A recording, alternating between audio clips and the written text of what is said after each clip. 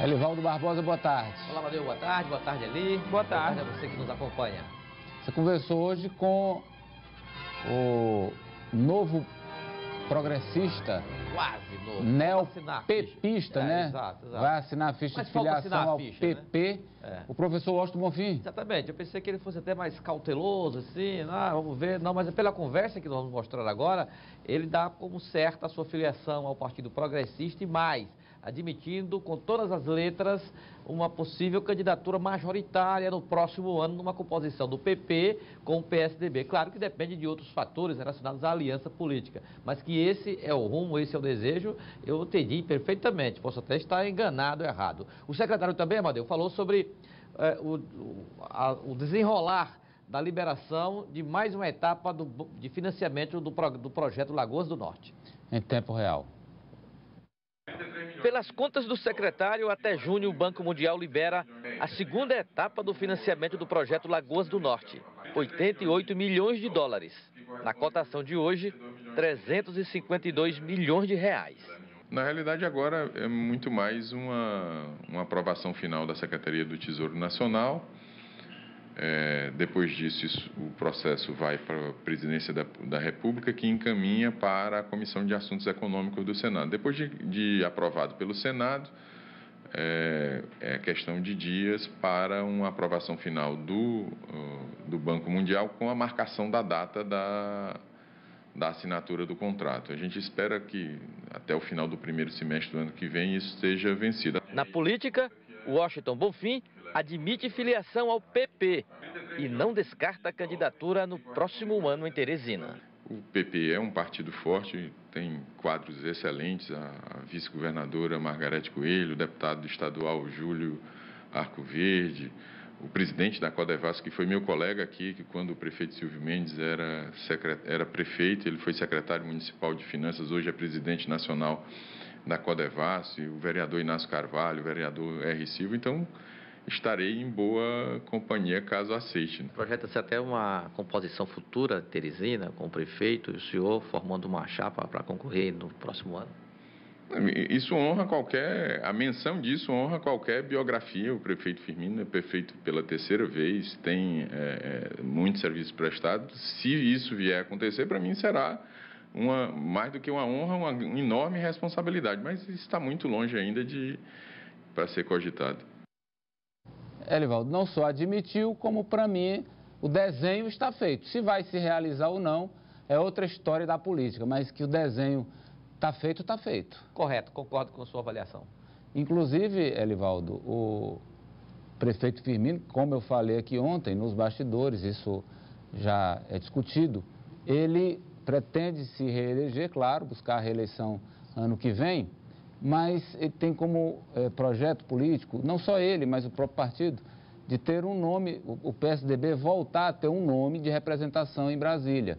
E esse nome é Firmino Filho com a candidatura ao Senado em 2018. O prefeito cumpriria a primeira etapa de governo e passaria para, o, se for reeleito, tudo isso é no condicional, se for reeleito, e passaria o governo para o professor Washington, que é um, é um, um- um administrador né, ligado ao prefeito Firmino desde sempre. Exatamente. Então não teria descontinuidade administrativa caso isso ocorra. Correto. Agora é preciso, então, o desdobramento dessa, dessa possibilidade, desse cenário que está sendo arquitetado com outros partidos potenciais aliados do prefeito Firmino Filho, como o PMDB, principalmente. O PMDB, que sempre já tem dito aqui, de suas lideranças, que numa aliança para apoiar a reeleição do Firmino, quer indicar o vice. Tem o PMDB, tem, Tem o PSD, PSD e o PSB. Exatamente, são, São três, três partidos que cogitam, não é? Isso. Ter um candidato a vice e que seriam preteridos, aí tem que ver como o prefeito vai fazer a articulação. A articulação, claro que isso depende desses outros fatores que serão aí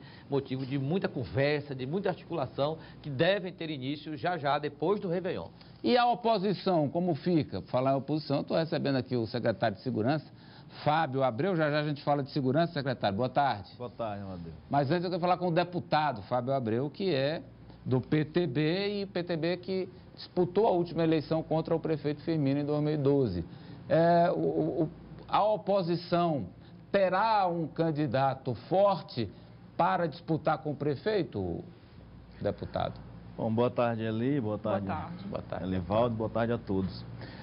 Com toda certeza, essa tem sido a tendência nas últimas semanas, até mesmo porque uh, essa tradição uh, vem mais recentemente com relação ao PTB fazer essa oposição, principalmente na pessoa do senador Elmano Ferre. E esse manifestou uh, o interesse de, de, de estarmos nessa, na condição de oposição e principalmente com a, a possibilidade dele assumir a presidência do partido. Estamos articulando todo esse processo uhum. e vai ser o novo presidente do PTB estadual. E para isso, com toda certeza, nós teremos condições de ter, termos mais é, nomes fortes para compor o partido e disputar essa eleição. Mas a grande dúvida é se ele será ou não candidato. O partido vai querer que ele seja candidato?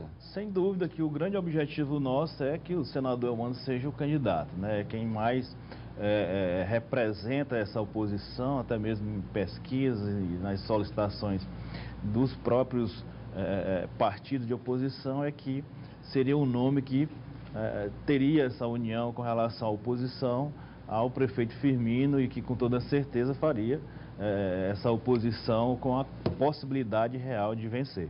Esta semana eu conversei com o senador Elmano, ele afirmava exatamente essa tendência de assumir o partido e elencou algumas alternativas para que esse grupo seja competitivo nas eleições. E citou, por exemplo, o ex-deputado Eliseu Aguiar, o vereador Inácio Carvalho, que é do PP hoje, mas seria atraído para se filiar ao PTB, como também alternativas. Esse também pode ser o caminho, deputado? Sem dúvida. Nós o temos... senhor também é citado. É, nós, nós temos essa, essa, essa, essa ideia. Estamos fazendo esses convites ao vereador Inácio, ao, ao é, próprio Eliseu Aguiar, ao Tiago Vasconcelos também, que a gente tem formulado esse convite e eu tenho assim a plena certeza de que nós teremos essa capacidade de, em torno de um nome, lógico que o principal seria o do, do senador Elmano, mas com essas a, afiliações nós teríamos também nomes muito fortes, como é o caso do próprio é, Eliseu Aguiar, que também seria um pretenso candidato pelo PTB. E onde é que entra aí o governador Wellington nesse xadrez?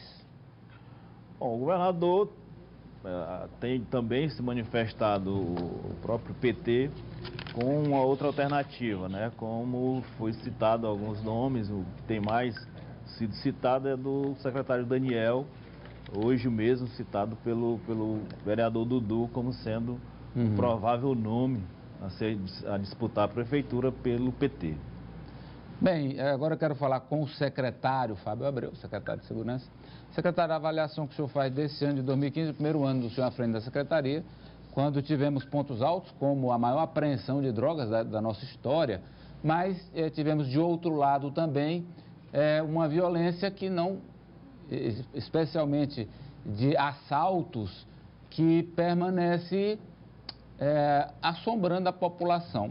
A avaliação que o senhor faz é positiva? Bom, nós, é, diante, é bom que se explique, de tantas dificuldades, porque nós assumimos essa administração e logo, imediatamente, já vindo uma sequência de, de, de crise, né? E se acentuou durante 2015. Isso foi o grande, é, a grande dificuldade que nós tivemos foi com relação a essa crise, essa questão de escassez de recursos e recursos, inclusive, humanos. Uma avaliação que nós realizamos, estamos finalizando, nós entendemos que foi um ano ainda positivo, diante de tantas dificuldades, diante de tantas tendências que nós tínhamos de que o ano de 2015 tivesse um acréscimo, por exemplo, no número de pessoas mortas. E, na verdade, nós... Então, vamos lá. Qual foi a maior vitória? A maior vitória foi controlar a problemática da segurança pública. Nós não tivemos acréscimo na quantidade de, de, de homicídios. Isso aí é um, é um fato, nós tivemos um decréscimo, ou seja, 10% de pessoas em relação ao ano passado. Então foi esse foi o grande, o grande, a grande vitória nossa em termos de não descontrolar o problema da segurança. E o grande nó que está travando, atrapalhando? Está travando é a questão da quantidade de roubos. Né?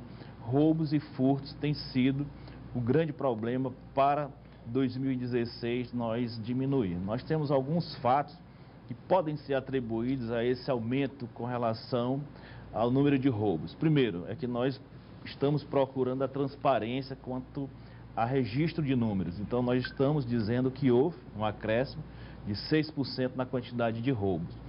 Nós podemos atribuir também a capacidade, ao entendimento da população em ter a, a confiança de registrar o BO. Embora tenhamos muitas pessoas que não registram, mas nós sempre estamos solicitando que essas pessoas registrem essas ocorrências para que nós tenhamos a oportunidade de trabalhar em cima daqueles registros. Então, uhum. é um fato que nós observamos que as pessoas passaram a registrar mais. Então, isso transfigurou na, nos nossos números como um aumento. E nós aproveitamos esses números e vamos trabalhar esses números para 2016. Então, um grande desafio em 2016 será a redução no número de roubos em nossa capital e no nosso estado de um modo geral. Com relação a equipamentos, é, existe para o ano que vem uma programação, existe verba é, separada, destinada para o aparelhamento da polícia? Olha, agora mesmo eu estou vindo da, da Caixa Econômica é, regulamentando a questão de umas emendas, das minhas emendas que nós destinamos para a compra de motos e viaturas e a reforma de algumas delegacias e quartéis. Então, ah, foi liberado o recurso agora no final do, do ano, já praticamente de ontem para hoje, nós estamos com esses recursos já prontos para serem utilizados no próximo ano. Então, no próximo ano, nós teremos a capacidade de empregarmos esses recursos nós teremos a possibilidade de reposição do nosso efetivo de policiais militares e policiais civis que já passam a trabalhar, os policiais civis, a partir de fevereiro. Então, nós teremos a capacidade de dar um apoio maior, principalmente na questão da nossa capital com relação a policiais civis. Então, nós teremos, por isso que eu entendo que nós teremos a capacidade de diminuir essa questão do roubo, porque hoje se faz o registro de uma ocorrência de roubo a sua maioria não há aquela investigação, não há prisão do indivíduo. Com a, a reposição desses policiais, com o acréscimo de policiais civis, sobretudo de delegados, em Teresina e no interior, nós teremos a capacidade de investigar e prender aquele indivíduo uhum. que muitas das vezes faz dois, três até dez roubos ou furtos. E com a prisão desse indivíduo, nós teremos uma diminuição. Então, o objetivo é trabalhar, continuar trabalhando a parte da inteligência, principalmente voltada para o combate ao tráfico. Nós vamos, esse próximo ano, intensificar mais ainda com relação ao combate ao tráfico e visando também a diminuição dos roubos. O senhor falou aí em reforço no contingente. Em relação à ostensiva, Polícia Militar, a instituição com o senhor também faz parte, o que, que existe de programado, já que é uma defasagem muito grande entre o contingente que existe hoje disponível e o, e o efetivo que atua, e a necessidade de se ampliar esse, essa atuação da segurança? Bom, o que nós temos como uh, uh, otimizar esse pouco efetivo que nós uh, dispomos, primeiro é a, a, reposição desse efetivo com a formação de novos policiais. A outra parte, que também é, nós entendemos que ajuda bastante a questão da tecnologia. Nós temos aí ah, números positivos com relação à implantação do sistema de monitoramento Lagoa do Norte. Vamos fazer uma avaliação aqui na Vila Jerusalém.